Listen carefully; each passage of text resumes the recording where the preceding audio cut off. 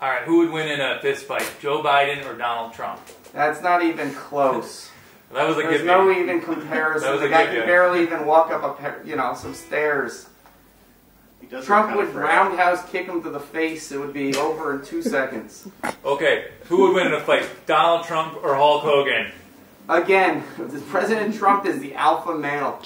Have you ever seen the guy shake hands with people? He, he dominates every man out there. Sounds like you got a man crush going on here with Trumpy. We all should. Let me let me tell you something from my perspective, though, and I only think things about things logistically.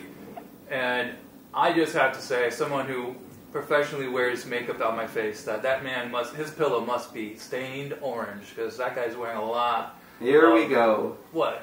What?